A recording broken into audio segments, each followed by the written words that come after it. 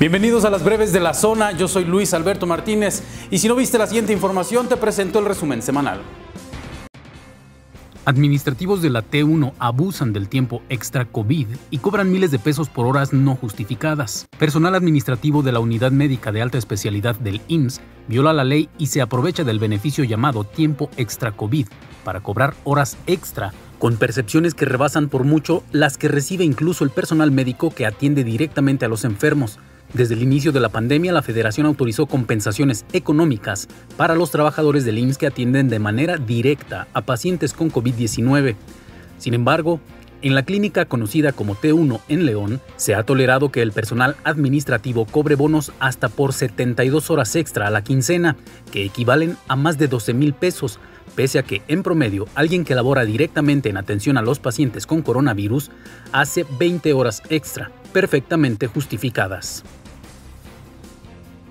Sheffield Padilla lo hace oficial, buscará candidatura de Morena a la alcaldía de León. Es oficial, Ricardo Sheffield Padilla buscará la candidatura a la alcaldía de León abanderado por Morena. A través de su cuenta de Twitter, Ricardo Sheffield Padilla clarificó los rumores que se venían gestando sobre su intención de ir por la candidatura de Morena, cuando esta virtualmente ya se le había asignado a Marcelino Trejo para la elección. Guanajuato oficializa semáforo amarillo. Si hay descuido, vendría tercera oleada de coronavirus. La Secretaría de Salud de Guanajuato informó que desde el próximo lunes, el estado pasa a semáforo de reactivación económica en color amarillo, con alerta. Esto significa que las actividades económicas pasarán al 60% de sus aforos y solo giros como cantinas, balnearios, bares y casinos estarán al 50%. Bajan en 35% los asesinatos durante enero y febrero esto en la ciudad de León. El mes de febrero presentó una baja del 35.28% en los casos de homicidio doloso en la ciudad. Registros periodísticos señalan que durante enero se cometieron 72 asesinatos y al finalizar los 28 días del mes de febrero solo había 49 muertes violentas. La diferencia de 23 asesinatos de un mes con otro representaría una disminución en el 35% de los casos que se cometieron el mes pasado. Plan de trabajo claro, exigen colectivos a la fiscalía tras hallazgo de fosas en Celaya. Los colectivos de familias de personas desaparecidas acompañarán una semana de trabajos de limpieza en los terrenos de la localidad El Saus, Villa Señor de Celaya, que dispusieron los elementos de la nueva Unidad de Identificación de Personas Fallecidas, UIPF por sus siglas, un área recién creada por la Fiscalía General del Estado. El problema para las familias es que esa metodología ha provocado la demora en el rescate de cuerpos en el campo agreste, donde la semana pasada fueron detectadas 11 fosas y se rescataron 19 cuerpos. Por ello exigieron que esta nueva instancia les presente su plan de trabajo completo para darle seguimiento. Sancionarían con faltas graves a funcionarios que acosen y hostiguen a subalternos en León.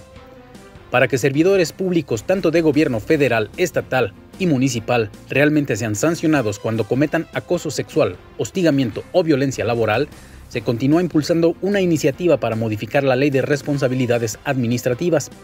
La encargada de promover la propuesta es la regidora del PAN Olimpia Zapata, quien aseguró que actualmente quienes cometen estas acciones solo son castigados como si hubieran cometido una falta de respeto.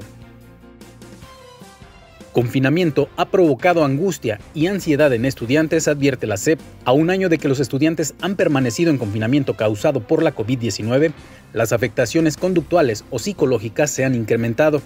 Así lo señaló el enlace de la Secretaría de Educación Pública en Guanajuato, Francisco Javier Zavala Ramírez. El funcionario federal aseguró que un gran porcentaje del 1.522.000 estudiantes guanajuatenses son víctimas de angustia y ansiedad, entre otros entre otros problemas relacionados con la salud mental, derivado de haber perdido contacto con sus pares al ponerse en marcha el modelo de educación virtual.